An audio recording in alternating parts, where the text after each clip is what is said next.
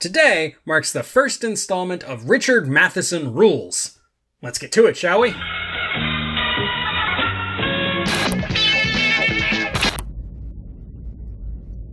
Hold it. Hold it. It is an area which we call the Twilight Zone.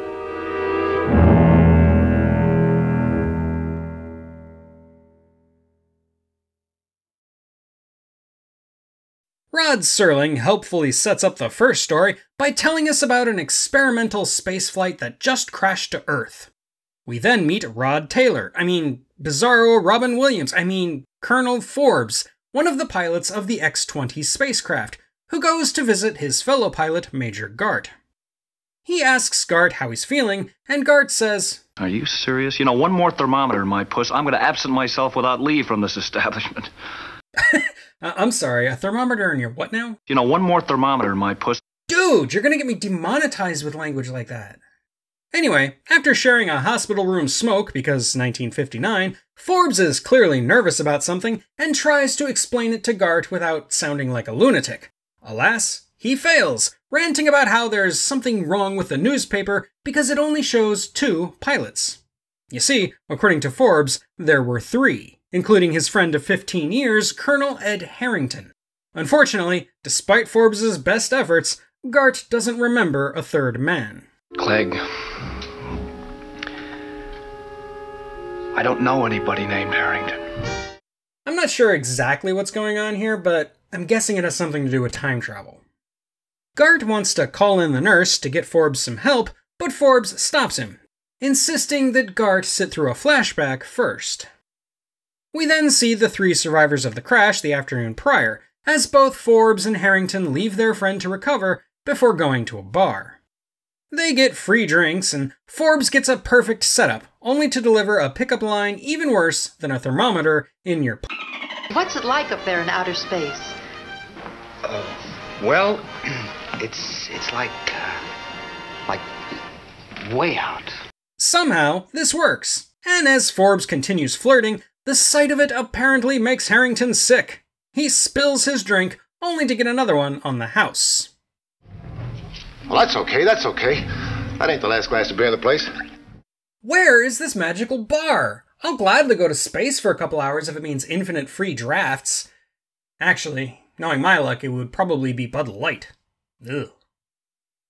Ed says he's not sick, but he does feel weird, especially framed against a slowly flashing light. He then suddenly decides to call his parents from the phone booth that is conveniently placed in the room. Afterwards, he calls Forbes over to tell him what happened. His own parents denied they ever had a son. Ed talks about how he feels like they shouldn't have come back from the flight. Forbes offers to help him feel better by getting him another drink, but he then sees the newspaper, which doesn't have Harrington on it. You got a beer here, honey. You know what? Forget about Ed. I got a beer to attend to. Instead of taking the hint, Forbes argues with the bartender, who insists he came in alone. And then Forbes starts shouting, engaging in what we call projection. You're crazy! You know that? You're, you're crazy! Back at his home, he gets berated by his wife. You were married this whole time? You dirty dog, Forbes. He tries to explain it all to her, but she, of course, has never heard of Ed Harrington. He calls his old commanding officer, who also doesn't remember Harrington. In a perfectly reasonable tone of voice, Forbes then shouts at the general and slams the phone down. Now fully breaking down, Forbes runs to the bar, breaks in, knocks over some chairs, and starts crying in the phone booth. Please, Ed. Please come back. the flashback ends, but Major Gart still doesn't remember Harrington and still wants Forbes to get some help. Forbes then concludes that Ed must have been taken away, and then he starts to get that tingle in his brain and runs off, convinced he's about to be taken too. People are gonna come for you too. What are you going to do?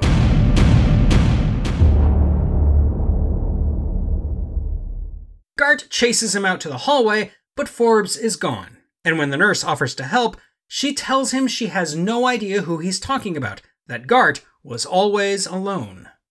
The Major starts freaking out and sees the paper, which now only has him in the picture. The nurse comes back later, but Gart is gone and she doesn't remember anybody being in the room. Even the experimental X20 is gone. I friggin' love this episode. No real explanation, no big reveal, just this is what's happening and there's nothing anybody can do about it. There's the hint of aliens maybe being responsible, but it would have to be extremely advanced aliens, capable of warping reality itself, such that they're not only abducting the pilots, but erasing them from reality, like Doctor Strange did with that nameless kid. Cappy? No, I'm annoyed. It's also really well paced, not lingering too long on what's up with the Colonel at the start, and then drip feeding us the exposition we need to understand the real horror of the situation. I also love Bizarro Robin Williams. That guy can act. Aha! There's the man. I'm out of coffee. Out of coffee? What a time to run out. And why run out? Now there's a new giant size Instant Maxwell House. A really big jar of coffee. We start our second episode in yet another bar, where one man, Fred Renard, sits around bored, wallowing in his own sociopathy. He tells the bartender to leave him alone, All kinds. We get all kinds. just as another guy, Pedott, walks in. This little old man carries a case of trinkets that he sells to the customers, but it quickly becomes apparent that this is no ordinary salesman, as he displays an apparently precognitive ability to discern what a person really needs. I think I know what it is you need. What is it? Cleaning fluid. Okay, yeah, that sounds like some 1950s sexism, but the truth is that that femme fatale, let's call her Annie, has bloodstains on her carpet. Pedott glares ominously at Renard before getting noticed by Lefty, the pro pitcher forced into retirement for a bum arm. Pedott uses his magic powers to discern that Lefty needs a free bus ticket to Scranton for some reason. After Lefty and the bartender have a good chuckle about how awful Scranton is, Lefty takes a call in the phone booth. Now, wait a minute, seriously. What is up with these full fledged phone booths in bars? Was that a common thing in the old days? Long story short, it turns out Lefty has been offered a coaching gig in Scranton, because every job offer phone call always goes to a bar, meaning he really does need that bus ticket. Not only that, but he has a stain on his only suit jacket. But wouldn't you know it, there's a lonely woman right there who just happens to have some cleaning fluid. While everybody else seems to chalk it up to wild coincidence, Renard stares at Pedott, an idea swirling around in his head.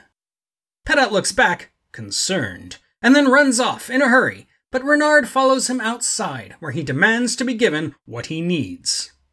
By the way, this episode, What You Need, may have the record for the most title drops in half an hour. I'll tell you what you need. It's what you need. Oh, tell him, Lefty. Tell him what you need. Tell him what you need. They're what you need. I'll tell you what you need. This is what you need. Pedott grabs some scissors, but rather than stabbing Renard in the neck with them as he probably should, Pedott assures him that they are what he needs. Renard later gets his scarf stuck in the elevator doors as the elevator very slowly starts to rise.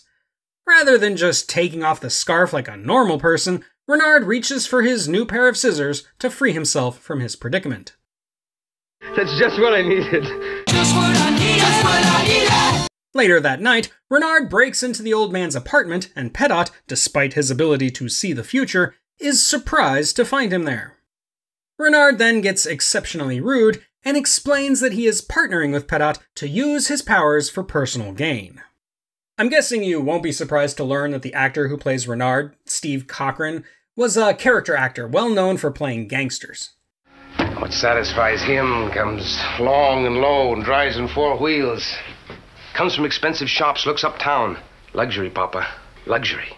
Renard bullies Pedott into once again giving him what he needs, which this time turns out to be a leaky fountain pen that drips on the name of a winning horse. After winning big, he leaves $250 lying around in plain sight as the doorman shows up with the next day's paper. Uh, did you ever hear of a tip? A tip? Oh, yeah, here's a tip. Don't play with matches. You know he's real bad news because he's rude to service staff. Renard, under the bizarre impression that the same trick will work twice, finds that the pen no longer drips ink, and he gets so mad about it, he starts stuffing crumpled up money into his pockets. He then confronts Pedott again, isn't phased that the old man knows his name, and begins really threatening him by telling him his sad backstory.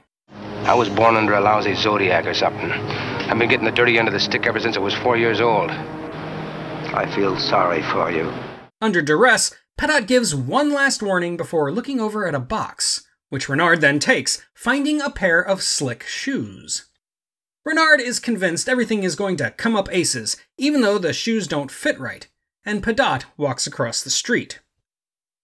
Renard gets angry again when Pedott tells him the shoes aren't what he needs, they are what Pedott needs. Renard starts to cross, slips, and then gets run over by a car. Do the jaywalk, get the outline chalk. okay, I'm sorry. That, that was that was really bad. I'm sorry.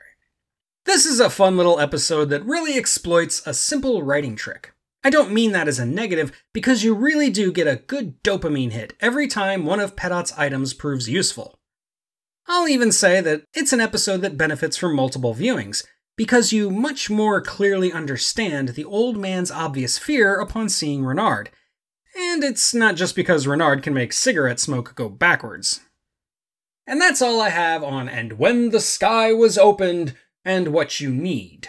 Now, as always, do all those YouTubey things, check out my Patreon, and all that other good stuff. But until next time, this is the Unapologetic Geek telling you to never be ashamed of what you love, as long as you're not hurting anybody. One more thermometer in my puss.